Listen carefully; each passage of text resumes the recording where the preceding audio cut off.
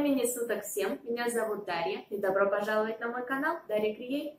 Если вы не первый раз на канале, то наверняка видели фон с ликой градиентом в конце каждого видео. Вы ведь досматриваете видео до конца.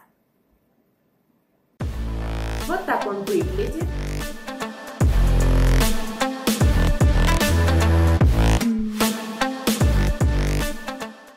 Как же сделать такую красоту, спросите вы? Очень просто и к тому же совершенно без плагинов. Все только встроенными средствами After Effects и иллюстратора, в котором я заранее подготовила градиентный фон. В общем, будет очень сочно, и давайте скорее начинать. А начнем мы с иллюстратора и сделаем там заготовку для нашей композиции. С помощью инструмента Rectangle Tool создаем прямоугольник.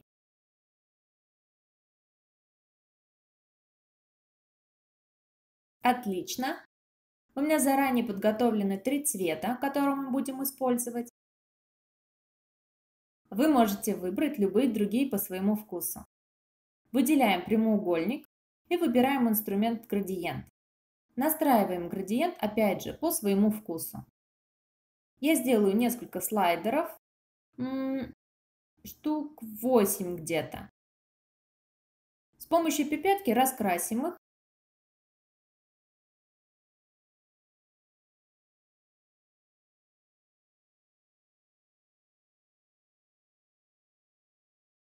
Немного раздвинем.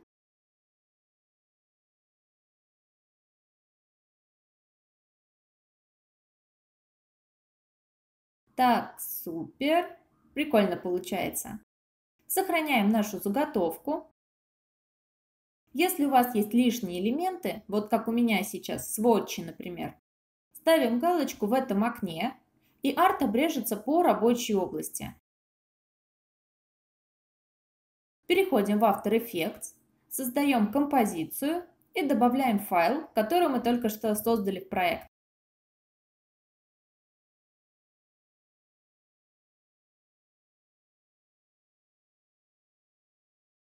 Переносим его в композицию, подправим размер. Отлично. Теперь сделаем блики, которые впоследствии будут переливаться.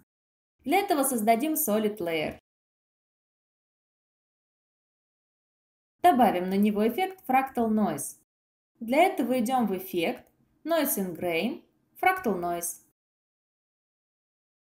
Fractal Type выбираем Dynamic Progressive. И в Complexity э, выставляем значение 1. Окей. Анимируем по параметру Evolution. Выставляем первый ключевой кадр и вводим выражение time умножить на 100. Теперь на протяжении всей композиции наш шум будет двигаться. Поменяем режим наложения на Lighten, чтобы видеть только белые элементы. Супер! И я добавлю еще Glow эффект. Он находится во вкладке Stylize. Увеличу это значение до 90%. Окей и сделаем из этого прикомпоз. Назовем Noise. И теперь добавляем на эту композицию эффект Liquify. Находится во вкладке Distort. Дальше все супер просто. Вы можете выбрать любой инструмент, какой вам нравится. Тут все интуитивно понятно и каждый инструмент подписан, содержит иконку, показывающую, что именно будет происходить с вашей композицией. Мне нужен только первый из них – Warp. Я выбираю размер кисти и силу нажатия. Окей. И произвольно изменяю рисунок, как мне хочется. Если в процессе у вас вылезли черные части, можно решить это либо вытянув обратно за границы, либо просто увеличив размер всего слоя. И я думаю, что вы все, конечно, знаете, но на всякий случай все же озвучу.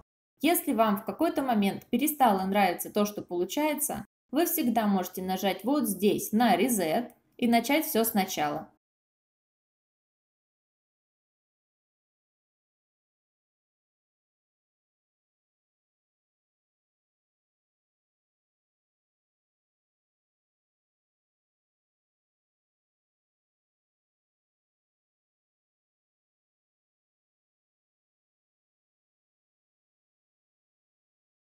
Но добившись приемлемого результата, мы можем анимировать композицию. Ставим первый ключевой кадр в начале, передвигаем на требуемый вам отрезок, я поставлю в самом конце и ставим второй ключевой кадр.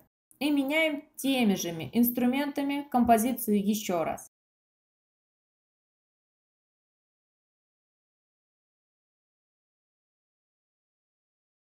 Когда закончим, можем посмотреть, что получилось.